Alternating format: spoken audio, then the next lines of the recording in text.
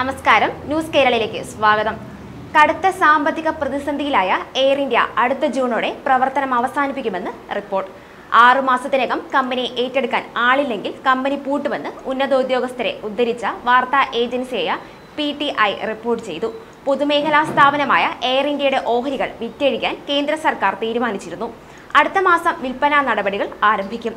Air India ഏറ്റെടുക്കാൻ ആരും എത്തിയില്ലെങ്കിൽ ജൂണിൽ പൂട്ടുവീഴുമെന്ന് ഉദ്യോഗസ്ഥർ പറഞ്ഞു. പ്രതിവർഷം ആറായിരം കോടി നഷ്ടത്തിലാണ് എയർ ഇന്ത്യ പ്രവർത്തിക്കുന്നത്. ഇത്രയും നഷ്ടത്തിലായ കമ്പനിയെ രക്ഷിക്കാൻ ഫണ്ട് നൽകാനാകില്ലെന്ന് കേന്ദ്രവും വ്യക്തമാക്കി. നേരത്തെ നഷ്ടത്തെ തുടർന്ന് ജെറ്റ് എയർവേസ് പൂട്ടിയിരുന്നു. രണ്ടായിരത്തി പതിനൊന്ന് പന്ത്രണ്ട് സാമ്പത്തിക വർഷം മുതൽ എയർ ഇന്ത്യയെ കരകയറ്റാനായി മുപ്പതിനായിരത്തി അഞ്ഞൂറ്റി ഇരുപത് കോടി കേന്ദ്ര സർക്കാർ നൽകി. രണ്ടായിരത്തി പന്ത്രണ്ട് യു പി എ സർക്കാരാണ് മുപ്പതിനായിരം കോടി നൽകിയത്. ഇപ്പോൾ പ്രവർത്തന ചെലവിനായി ഇരുപത്തിനാലായിരം കോടി കേന്ദ്ര സർക്കാരിനോട് ആവശ്യപ്പെട്ടു.